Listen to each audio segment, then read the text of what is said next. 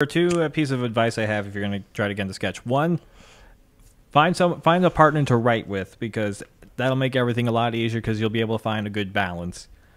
And then uh, when you have like a premise, keep the premise simple because then it's easier to just build up from there on a simple premise and having like this wild idea and then trying to make it even bigger.